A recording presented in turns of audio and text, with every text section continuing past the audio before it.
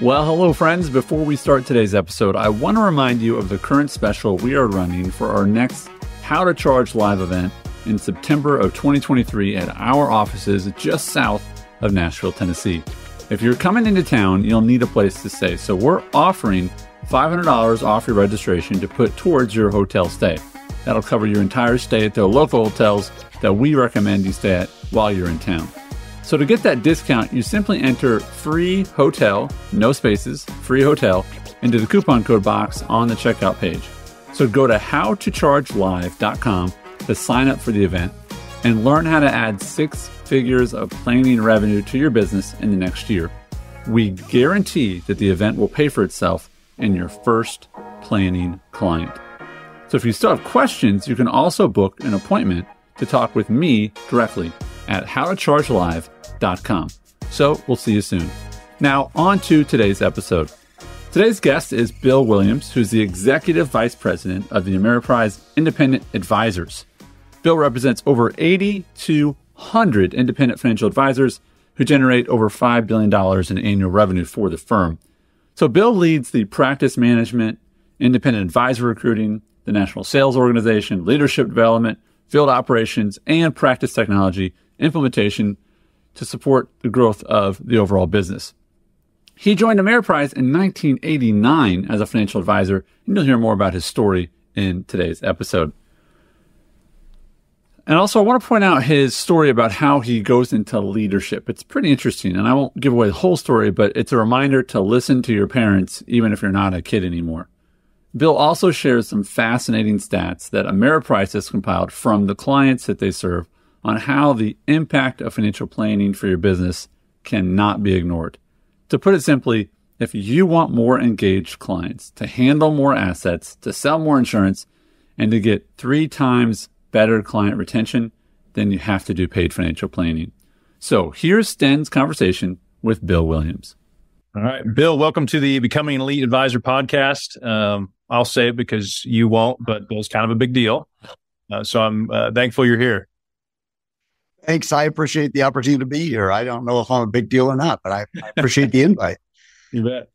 Uh, well, I'd love if you'd kind of real quick. Um, I've been able to kind of hear your background and stuff, but if you'd kind of for our listeners, wide range listeners from new advisors to advisors that have been in business for a long time.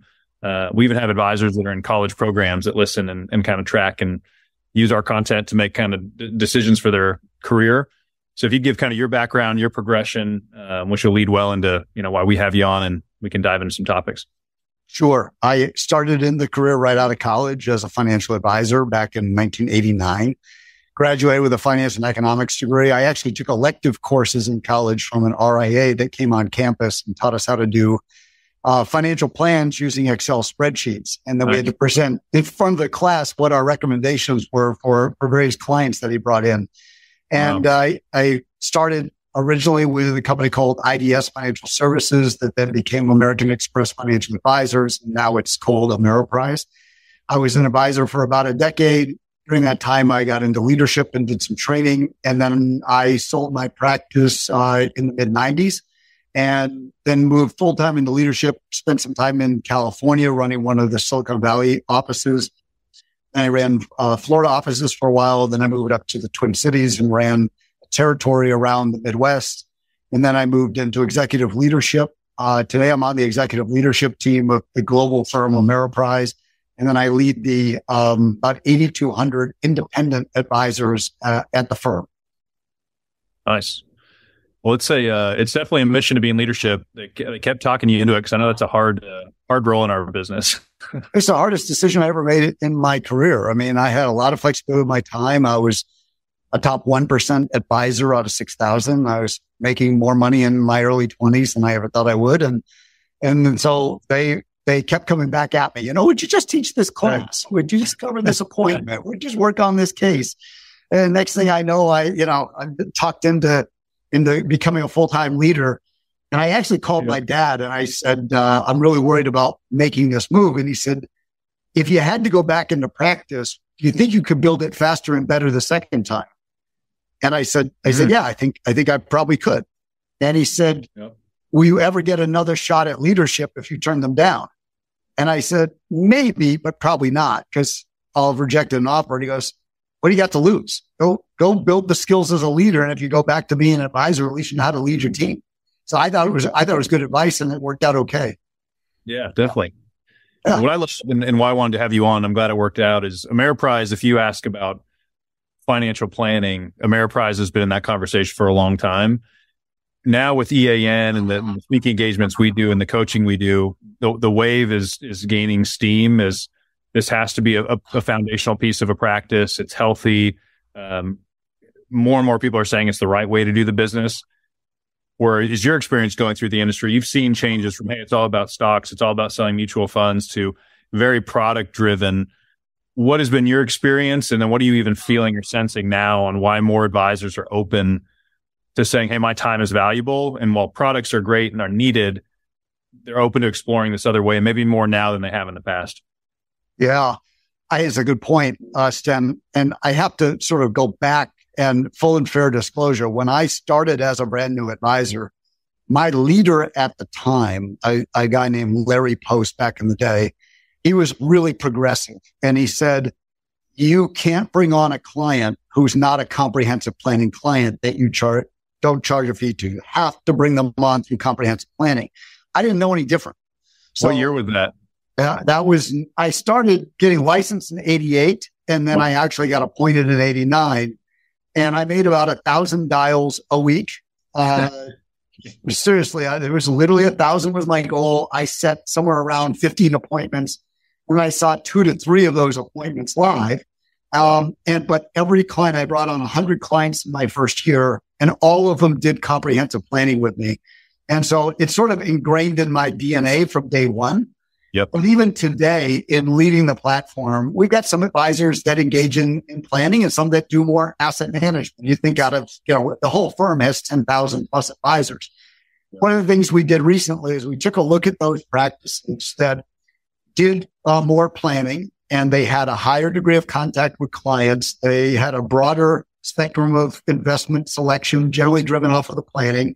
And they used digital more with their clients. And we wanted to break it down into the ones who were high users of those four things and then those that were sort of low users, just to see were there are real big differences. And there was about a three times difference in net flows annually for somebody who incorporated planning. Wow. Uh, the retention of clients was 300% better uh, than somebody who just did investment management. Uh, the overall net flows that came into the practice were significantly greater. So it's like the every metric we looked at was literally three times greater versus the um, investment only choice. Yep. And so then we went and we wanted to ask clients about this. And so we surveyed a bunch of what we call target market clients, which is a fancy term for people who have money that, you know, are in what we call the responsible mindset. And we basically asked them a bunch of questions. What, what is it you want from a financial advisor or from a firm? And they said, one is I want a, uh, somebody I can trust. Sort of, you know, really obvious, right? And then they said, I want to meet face to face. I want somebody who goes beyond investment management and I want somebody that sees my whole picture. And that came out in every survey that we did over and over with somebody or one that end to end. And we followed it up with a question. We said, you know, that that's hard to come by. Are you willing to pay for it? Nice. Okay. And we asked that question, and we've asked that question about every two years since 2008. In 2008, the target market, about 30% of them said I'd be willing to pay for it. This was right before the recession. Hmm. Fast forward to today, that same target market, 60% of them are willing to pay a, for, for a fee for a financial advisor above and beyond investment management. Wow. Well, it, there's, they know they're going to pay for investment management no matter where they go, yep. but getting that holistic, comprehensive planner to sit down and spend a little bit more time holistically.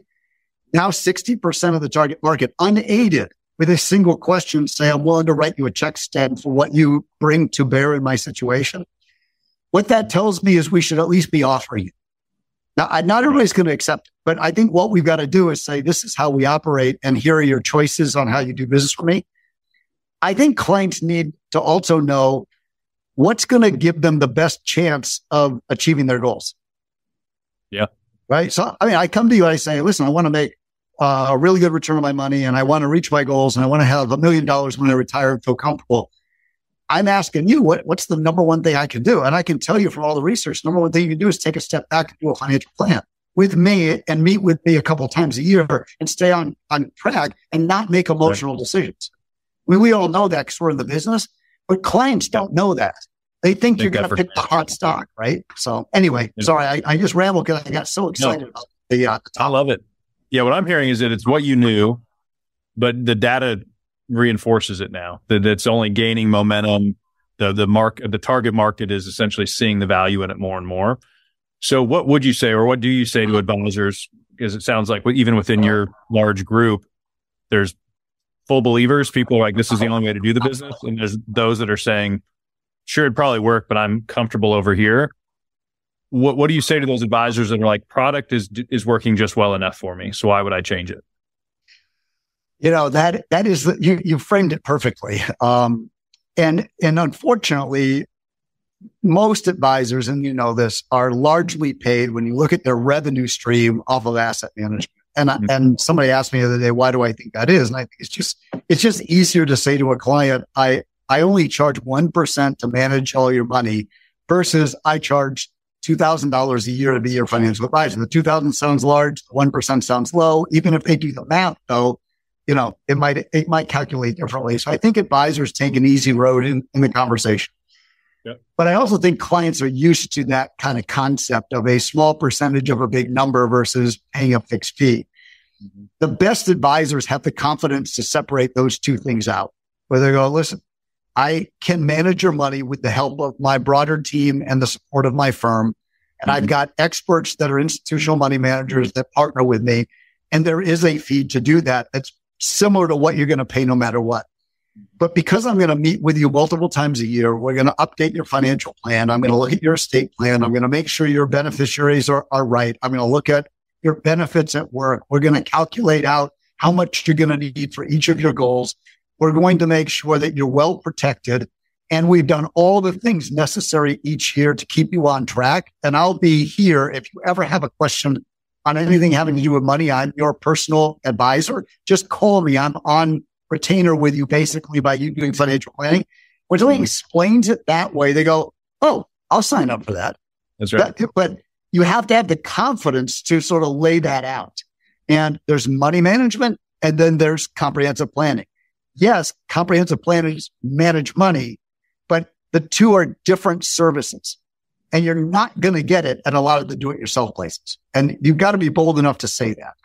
I agree. Yeah. And we've coached thousands of advisors by now. And what we hear is I already do financial planning. And that's back to my early days of ma- managing money. It was what we kind of sprinkled in between the strategy calls, but AUM was the focus. And I'd answer your questions if you had them, but there was no intentionality behind it. So I love the idea that like we have to be, we have to be confident in the fact that they're two separate offerings and we have to believe that they both have value in and of themselves and be able to say, it maybe isn't either or. There's some advisors where we don't say you don't have to charge a planning fee, but be willing to know that it's valuable and give them the option to say yes. Because what I see appearing in the market is the risk of if you don't offer it and somebody else does, what if your client hears about it from somebody else or meets with a different advisor and they're like, oh, my advisor doesn't offer that? Is that we tell advisors on a lot of platforms like this is coming. More and more advisors are realizing the value of it. And if your client doesn't hear about it from you, there's a good chance to hear about it from somebody else.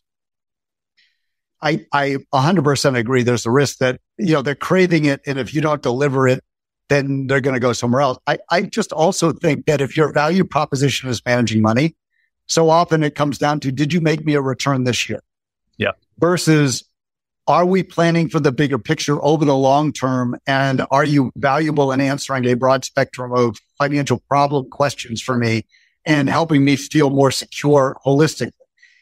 I think it's only a matter of time before, you know, some of these do it yourself firms really figure out a very personal approach to asset management. Mm. And it's going to be a lower and lower price because it's a commodity over time. And so if what you banked on is investment management, it's a matter of time before the client goes, wait a second, I just heard that XYZ company does exactly the same thing for a third of the price. Why don't I go over there? What they're not going to find though, oh my God, they meet with me four times a year. They know my whole family. They know my all my goals. They do a financial plan for me. They look at all of my holdings. They look at, you know, alternative investments. They look at how my insurances come together. They look at my beneficiaries. They look at all my benefits. They see how it all comes together and they hold my hand through the downturn. That's not going to happen at the other firms. Yep. And, and, but it has to be something you deliberately talk about and deliver. Yeah, I agree. The, the progression I've seen is we'll run into advisors that have never done it before. And so the fact that they ask for a fee for the first time is a win because that's just breaking down their, their mindset. Yes.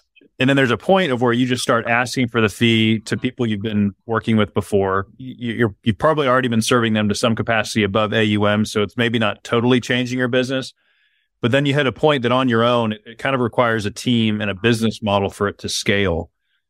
With the advisors within your business, what's, what are you seeing the most successful ones, their practices look like? My guess is it's not one advisor and one assistant. What does that evolve into? Yeah, you're, you're hitting on something very important although at our firm, one of the things we try to do is say, listen, you tell me what type of model you want to run. If you want to run a solo, more simplified, streamed down approach, that's fine. To mm-hmm. get to comprehensive planning, we've got remote services to gather the data, do the financial plan, update the service meeting and hand it to you electronically. So you well, basically a virtual back office that you can hire. And right. so that you look like a bigger team if you want to keep it simple, but it's still a team. And so, and then there's the, the bigger teams, the conglomerates will create centralized services. And so the advisor, the relationship leader will say, Hey, Stan, I think we should do comprehensive planning. You go, yeah, that sounds great to me. And then somebody calls and gathers your information. Somebody else does the financial plan update. You then get all of that plus some basic recommendations. You refine that. You then create your proposal for the client. You meet with the client and then you say, so and so will come in next and implement it with all the paperwork and information online to gather and get the accounts fulfilled. That's that's the team approach, right? When you have somebody you can delegate to, I liken it to going to the doctor. I just just switched doctors, and I went in for my first full physical a couple of weeks ago. The person checking me in helped me filling out my online forms. I then went back and somebody else did my blood pressure and my height, my weight, and they took my blood and all that, that stuff.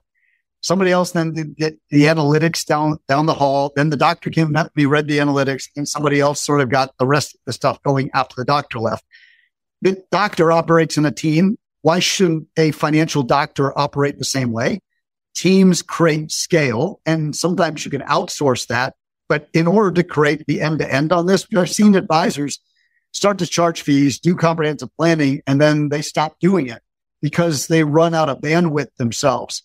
Yeah. And so one of the critical pieces is who's helping you get all this stuff done? That's one of the first questions you have to answer, which I think is your point.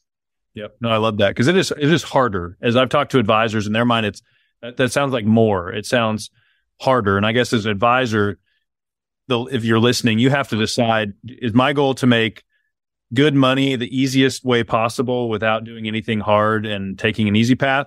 Or as a business owner, is my goal to make as much impact as possible, to lead people and those are two different choices. And I think so. So my goal at times, like I don't want to talk to an advisor that's looking for the easy path into doing something hard because they may just back out. It's like, are you committed to saying, I believe this is the right way? The good news is I make more revenue because I get paid for my time. And Bill, what you're saying is you get more AUM. And, and if you're in more of an insurance environment and you're listening, you probably get more insurance too. It's just being willing to say, I'm going to step into something new and a little uncertain because with the data and what I'm hearing and a lot of our training is it is a better way if you can adopt it. Yeah, short-term discomfort for really long-term benefit that that keeps paying itself back year after year after year. That but that that change, that first year, I'm not going to discount it if you haven't done this before. It is a change. It is hard to kind of get yourself motivated to sit in front of that client that you've given it, feel like you've given it away for free and then go, I'm going to try something new with you. I can do comprehensive planning now. And here's what it looks like. And do you want to pay me? You know, that's scary. Um, but if you can get past that with your first few clients, it's a much easier way to operate. And then the pressure is off you on, I have to perform every single year to keep this account. Yep. And we, we teach about it is weird when you say I've given away something on Friday and then on Monday, I'm all of a sudden going to charge for it is that we teach advisors like you need to actually present that it's something different. You're not going to go to them yes. and say, Hey, you're just going to start paying me for the same stuff. Right. And you may, I do it all still. We're formulate it in such a way to where you are making it a new offering. Um, and that's, that's an initial hurdle we see advisors getting stuck on. Um, Could I comment on that real quick? Could I yeah, just, maybe that's where you're going with your question, but one of the things we teach our advisors is this thing called a menu of services. And it's, it's, you know, you go pretty much anywhere these days and then they're trying to get you to sign up for what it, you know, you even go to a massage therapist or you go to, uh, even the doctor right. I just visited said, you know, do you want just, you know, pay for each visit or do you want to sign up for a concierge service? The same is true with financial planning, right? I can work with you. And some people say I'll work with you on an investment only basis. Some people say I'll work with you on a basic planning basis. You have to start somewhere. What's the, what's the lowest? And then what's the most complex? And then is there something in between? I like three options, possibly four. And right. you describe in the boxes on a piece of paper that you present to the client to look at, you know, complexity would sort of play into this based on how much wealth you need me to help manage and how big your estate is and how complex and how mm-hmm. deep we have to go to solve some of your financial needs, put you in this particular box. And, you know, or do you want just investment only? Do you want basic financial planning to get started? Or do you want this? And which one fits? The client will gravitate to what they need. And almost always they'll pick the more comprehensive one. Yep. Yeah. You, definitely lay out the price. Kind of your, your communicator marketing hat on to say, how do I convey this in a way yes. that clearly understand the value? Um, and I love that thought because when I first started doing financial plans, I offered one option and I was really giving them a yes or no. Yeah. Yeah. As opposed to saying, I'm going to give you multiple things based on what you need. And I'm going to lean into one that I think is the best for you. Uh, but what I appreciate is when I was early in my career, only doing investments, had a high minimum for somebody in their 20s just because of the firm I was working with. I was in a meeting and I'd quickly try to get to the assets column. And if I figured out you didn't have money for me to manage, I checked out because I couldn't serve you. And so as I progress now, I don't turn clients away. I say either if you have AUM, great, we can talk about that, but also you can pay me for my time. It really is now the client telling you, no thanks. I don't have to turn people away or say you don't have enough money because if people are willing to pay for the value, I have that option as well. I think that's so smart, you know, and then, and then they know, let's say they say no today, because I used to have the same situation happen where people say, no, I don't know if we've got enough money to make this work and I'm not sure I can afford to pay for this. I got calls several years later. Hey, we've now got the money. I've thought about you, Bill. I'd like to, I'd like to become your client again. And we've got some money we can invest and do comprehensive planning with you. It's like you've laid it out for them in a menu and it's clear. Would you, and you have a unique seat and picture, um, as you look at the landscape of the industry, is this still an, an, opportunity, a blue ocean when it comes to being able to charge for your advice and communicate that clearly as a revenue stream? Or do you say of the advisors you have influence over that most of them have already adopted it? And I know Ameriprise is a little different, but if you look at the industry, well, it's, you know, Ameriprise has sort of been a leader in this. We've never deviated. Some firms have kind of tried to get people to do financial planning and then they back off or they incentivize financial planning and then they back off and stuff. We, for 40, 50 years, we have, haven't, haven't lost our focus on this. And as I said before, it doesn't mean that some advisors don't fully embrace it. Out of 10,000, you're going to have a mixture. The majority really do some form of, of planning. I still think even at Ameriprise, there's blue ocean here. Uh, the, the data says the client wants a deeper, more frequent conversation. They want to start all service meetings with a goal review, see where they stand, and then they want to know how they're doing on their investments against their specific goals. And I think we you can't take it deep enough. One of the things that we created is this artificial intelligence review for all of our clients because we have so much data from the financial plans we're pulling that information into an AI engine and then we're feeding it back to our advisors saying, here's the 20 ideas you could bring to your client that would help them get closer to their goals. It could be something as simple as, um, you're missing a beneficiary on these IRA accounts. Nice. Or we notice you've got an in-service distribution opportunity on the 401k at the company they're at because they just turned 55. Mm. Or um, we looked and they have no life insurance at all. And yet they just had a child. You, and we saw that in the system. Oh, that's um, great. Make sure they're covered. And so we're trying to feed our advisors these ideas that it could be brought up in the next meeting. Those kinds of ideas are planning ideas. That's, right. that's part of comprehensive planning. So it's a lead into. I love that. So as we kind of wrap up here, if you had an advisor, and I'm sure you have this conversation with an Ameriprise, and they are they're kind of in the industry, have some experience, but they're frustrated because they're like, I'm not getting assets fast enough. And uh, with the stats of ninety percent of advisors not making it past five years, like this is still true, and they're stuck, and they're the current model is not working. What do you say to advisors about here's how you here's how you break out of that and go to the next level? Is it boost your confidence and learn how to charge for your advice? What what would you say to them? I'd say focus as much as you can on the clients you do have.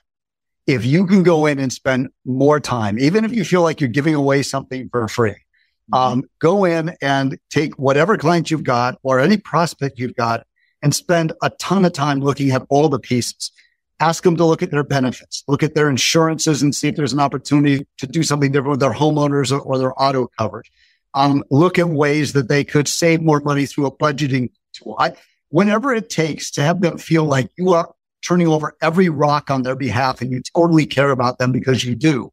When you fully invest yourself in your client situation and you're not looking just at the AUM or what you're making on that client, they sense it. Yeah. Suddenly they start to refer you to their parents who have money, uh, mm-hmm. their friend who just inherited something. They, they go, you know, Sten really cares about me. He's the type of person I can trust and you should be working with Sten too, because I can tell I've got no money and I, he's not making much money, but he's spending a lot of time with me. So if you have somebody who's stuck, I say double down on the client experience, more advice, greater contact, broaden the advice set, and you can't lose on that. That's great. Yeah. And then what I hear you saying is start building out essentially your planning service model live now, even if you don't have the confidence to charge for it yet, build out that experience because the it's really a limiting belief to just all of a sudden turn it on and start asking for a fee. And what I know is I've worked with thousands of advisors is that it's possible and there's a lot of opportunity. So if you're listening and you're like, Sten, those clients don't exist. There's no way they're going to pay me for that. We have countless examples of advisors doing it and getting paid and they have more clients than they can handle. So the opportunity is not the question. But what I've seen is just the advisor confidence. It's like, are you going to buy in and just see your time valuable? And if so, you need to go for it. You are so right. You're 100% right. It, it is right between our ears because there's thousands upon thousands of advisors doing it every single day and building a book based on true advice. You just got to decide that's your value proposition and that's your why.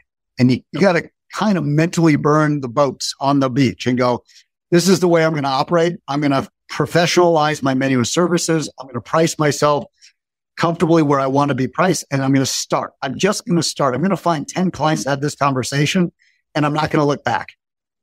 Beautiful. And you, once you get through this for six months and you commit to it, you will never look back. You'll never go back to just investment management. I promise you.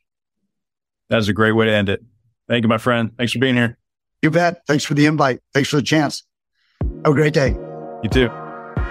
Hey, this is Andy again. Thanks for listening to today's episode. I want to remind you that the coupon code to get that discount for our in person event in September is free hotel, no spaces. So go to howtochargelive.com, howtochargelive.com to get your seat, or you can also book an appointment to get your questions answered should you still have any. So, on behalf of Sten and myself, thank you for being a faithful listener to the show. We appreciate your feedback on iTunes, or you can send me an email, andy at eadvisornetwork.com. Keep up the great work and keep charging for your advice. You're worth every penny and more.